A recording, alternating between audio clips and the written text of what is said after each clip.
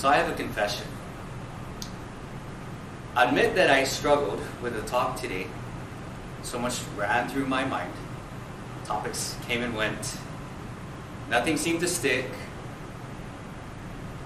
It was probably serendipitous that uh, I was looking through my inbox one morning and the top 25 best TED Talks came into my inbox. And so, naturally, I looked through them. I would tell you that they didn't help me much. I was no closer to figuring out what I was going to do today. Uh, don't get me wrong, they were great talks. Encourage everybody to watch them. Great stuff. But they didn't help me. Then it hit me. So, before I tell you what I'm going to tell you, ironically, uh, my son, who I'm going to tell the story about, is here today. Um, and in fact, all three of my boys are here today. And this is probably the first time that they're going to hear me tell this story. So, kind of makes it extra special. So, when my son was four, I was encouraged to try to test him in this gifted program. I was hesitant. Very, very hesitant. A lot of things, again, just like today, ran through my mind. And I struggled with that. I sat on it, thought about it, talked to my wife about it, sat on it some more. And then I was asked again, right? Do you want to test him for this gifted program? So at that point I said, what the heck? Let's do it. So I had him tested. After the test, my worst fears came true. He failed. And when I heard that, it was pretty heavy and, and something that just had to sink in. As part of the debriefing of this assessment, the administrator or the assessor sat down with us and she says, um, here's what happened. And here's where it gets really interesting. So my son failed this gifted program test. But he failed, and, and the proctor said that if he got any one of these three points correct, he would have passed. So here's those three points. First thing she says is that we showed him a picture of a spotted pig, and he didn't know what it was. And so he looked at the picture, and mind you, this was like a black and white drawing, looked something like clip art. And he looked at it, and he didn't know what a spotted pig was.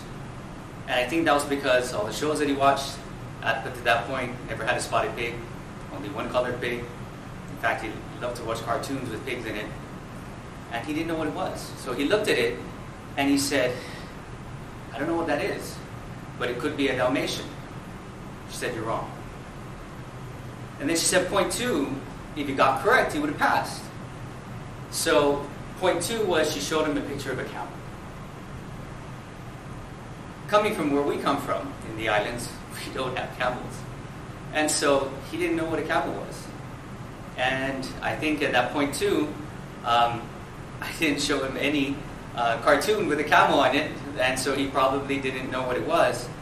But he had enough sense to look at that and say, I don't know what that is, but I think it's an alpaca or a llama. She said, You're wrong.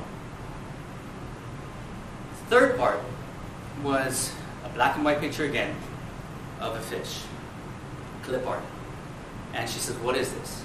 And he says, and at that point, knowing my son, who's kind of never done things the way that the system intended, looks at that and he hyper focuses on the dorsal fin at the top and looks at the proctor and says, and, and she told us that this four year old boy told her almost a six, seven minute story that he made up about a witch, goblins, and a fantastical story that he created in his mind because that dorsal fin looked like a witch's hat.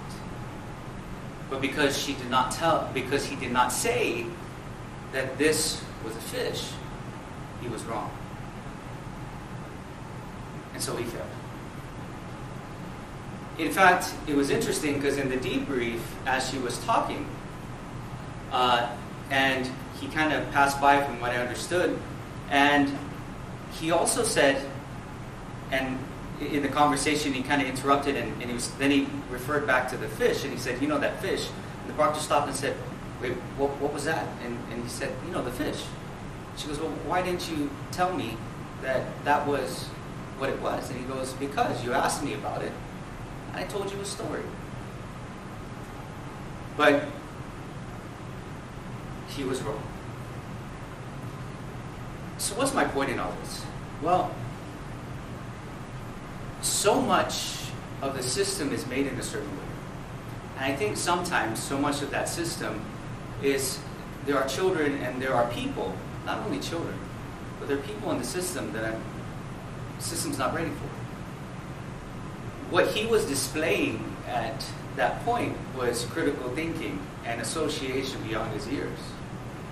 And I'll tell you, it's something as a college professor, I struggle with just trying to get college students to think about. Here's a four-year-old demonstrating that. And I can't help but think, what would have happened if we continued on this path where he was told to believe he was wrong? And so it became apparent to me that one of the things that I needed to do was make sure that he continued that type of uh, thought process. And he, he continued to grow his thinking like that.